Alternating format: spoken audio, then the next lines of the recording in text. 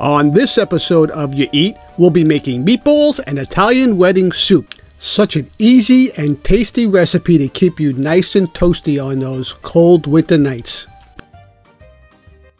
Hello everyone, and welcome to the 21st episode of Ya'Eat. I'm so excited as usual to have you here today, and I'm really excited about today's recipe. As it's getting colder and colder here on the East Coast, you know what that means? No soup for you! Soup's on. That means we're going to be making soup today. And we're to be making one of my all-time favorites. Really brings me back to my childhood. And it's going to be Italian wedding soup. It's a really simple, quick soup recipe to make. The hardest part is making the meatballs. Um, but we're going to be making it's a meatball, it's a beef meatball recipe with chicken stock, mirepoix, and escarole. And it's really delicious. I'm ready to make some Italian wedding soup. Are you ready to make Italian wedding soup? Here we go. Print this and all our recipes on yaeat.tv. We'll start by smashing some garlic and adding it to the pan with some extra virgin olive oil. Lightly brown and remove garlic and set aside. Turn off flame and cube one slice of white bread. Remove crust. The smaller the cubes, the better. Crack two eggs into a bowl and beat them together. You're going to add the cube breadcrumbs and incorporate that well together. After incorporating the bread into the egg, you can add the pecorino romano cheese and fresh chopped parsley. And let's mix that all nice together. It's going to be thick at this point, and that's where the water comes in. You're only going to add 1 to 2 ounces of water. You want the consistency to be almost like a mayonnaise. That looks good. We're going to take the roasted garlic and we're going to chop it up finely. We're going to add that to the mixture and blend that in. We'll season it with some salt and pepper. And we're ready to add the ground beef. We're just going to blend that in nicely. We don't want to over mix it.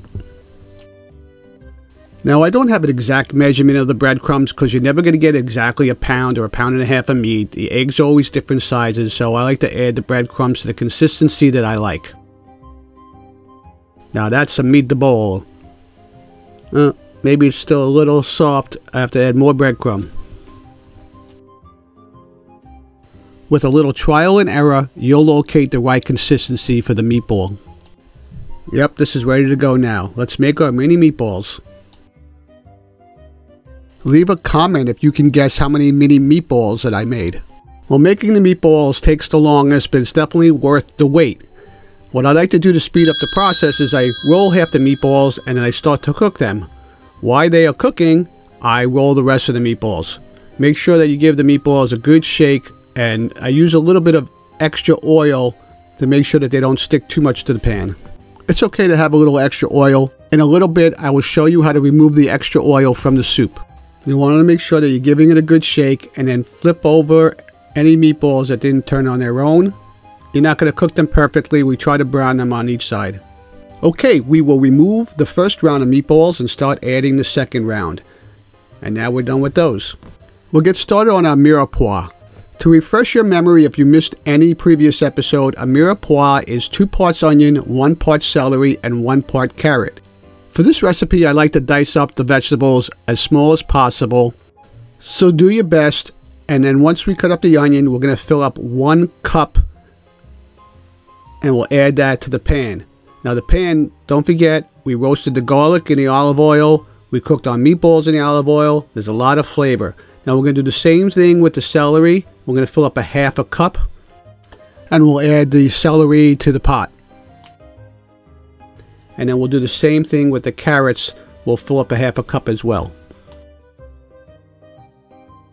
I used about three quarters of an onion, three celery stalks, and three carrot sticks.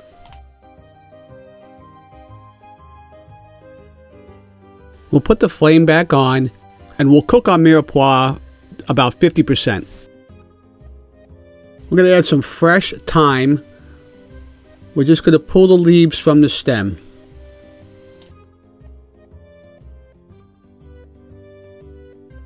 We'll season with a little salt and pepper. Once your mirepoix is ready, you can now add 3 quarts of chicken stock. We'll add some salt to our boiling water and we'll add ditalini pasta. This is my favorite pasta for soups. We'll put the meatballs back into the soup. We'll bring that to a boil and we'll simmer for about five minutes. Meanwhile, we will cut and clean our escarole. We'll cut down to the core, not all the way. It gets a little bitter. I'm going to add a little fresh parsley to the soup. Time to drain the pasta. I cooked the whole box and I'm going to cool this off immediately so it stops cooking. We cooked it about 75%. Then I'm going to package up the rest and I'm going to use it as needed. We're going to put the chopped escarole, we're going to fill it up with water and we're going to rinse that really well. We'll drain it and I like to repeat this process two or three times to ensure there's no sand. To remove the excess oil, we're going to make a little window and then we're going to glide the soup spoon along the edges and the oil will fill into the spoon before the soup will. It takes a little practice, do a little at a time, and you want to have a little bit of oil remain in the soup. Now we're going to cook the escarole for about two minutes. We want to make sure that the leaves are still green when we eat them. Okay, we're just about ready. We're going to turn off the flame. We're going to add two tablespoons of pecorino romano cheese. And that's it. We're done. Let's get this in the bowl.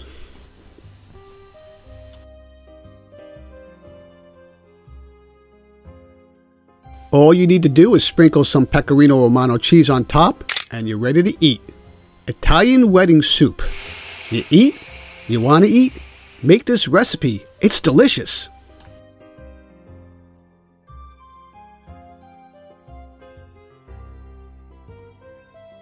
It wasn't that difficult, was it? So it's time to taste the soup. I keep the stock, the meatballs, and the vegetables together. Uh, and then I cook, put the pasta on the side and I'll just add the pasta to the soup when I'm ready to eat it. Let's give this a shot.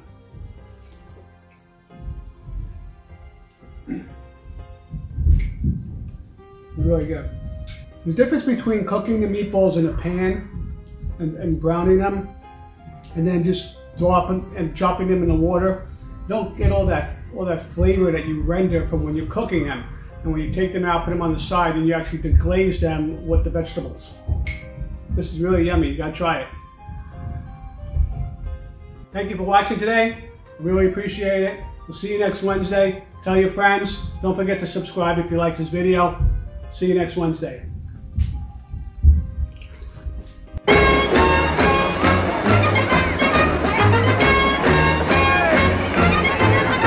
You want to try the soup? The soup is unbelievable. Did you try the soup? Not yet, Pop. I will. I can't wait to have some of that wedding soup. Did you have some soup? Good. You like the soup? Oh. That was the best wedding soup I ever had. Stop! All right.